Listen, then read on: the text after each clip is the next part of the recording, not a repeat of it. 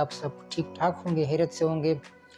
TV और birds के साथ एक बार फिर हाजिर हूँ, सुहेब खान, एक नई वीडियो के साथ, एक नए टॉपिक के साथ। और ये एक ऐसा टॉपिक है जो तकरीबन हर बाई के लाफ में एक, दो पेयर इस तरह के होते हैं, जो फर्टाइल अंडे नहीं देते अनफर्टाइल अंडे देते हैं अंडों से बच्चे नहीं निकलते। तो आज की वीडियो में हम डिस्कस करेंगे इस बीमारी के असरात, वजूहत इलाज और एहतियात के बारे में। सबसे पहले हम असरात के बारे में बात करते हैं।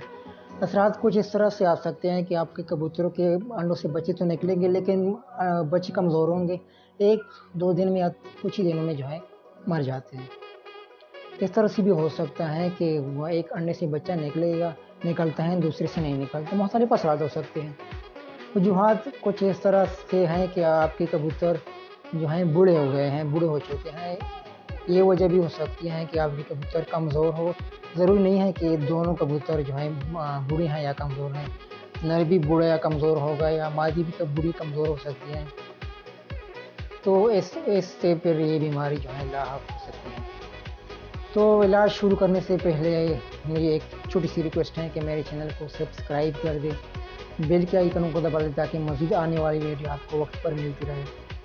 आपका सिर्फ़ एक सेकेंड लगेगा लगेगा सब्सक्राइब करने में और हमारा हौसला जो है इतना इतना बहुत बड़ा हो, हो जाएगा और हम आपके लिए मज़ीद अच्छी अच्छी वीडियो बनाकर लाएँगे इन तो इलाज के लिए आपका एक रुपया भी ज़ाया नहीं होगा आपका एक रुपया भी हर्ट नहीं होगा। बगैर पैसों के आप इस बीमारी से छुटकारा पा सकते हैं क्योंकि आपको किसी मेडिसिन की लेने की ज़रूरत नहीं है। ये हेयर मेडिसन का इलाज है और इन इस इलाज से आपके कबूतर सौ परसेंट ठीक हो सकते हैं। इलाज हम बताएँगे, शिफा देने वाला ऊपर है, वो शिफा अल्लाह देगा। तो चलो बढ़ते हैं इलाज की तरफ़। इलाज के बाद हम दोबारा स्क्रीन पर आएँगे एहतियात के बारे में बात करेंगे। तो आप हमारे साथ रहिएगा, क्योंकि ये वीडियो आपके लिए बहुत कीमती होने वाली हैं।